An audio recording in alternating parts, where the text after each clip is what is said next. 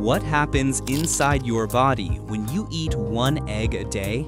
The moment the first bite enters your mouth, nerves activate and digestion immediately prepares.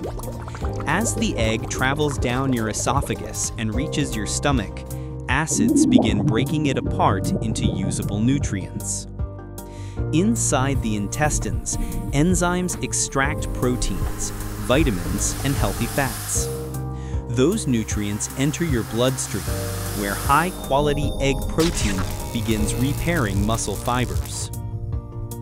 In your eyes, lutein and zeaxanthin from the egg strengthen the retina and help protect long-term vision.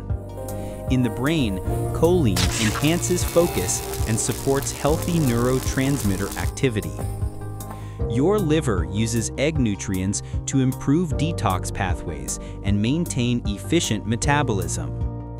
Your immune system also benefits as protein and micronutrients strengthen white blood cell activity.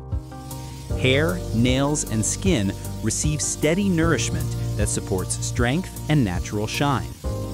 Your body feels fuller longer, reducing cravings and helping regulate appetite. And during physical activity, the clean energy from one egg helps support better performance. One egg a day quietly supports your entire body from the inside out.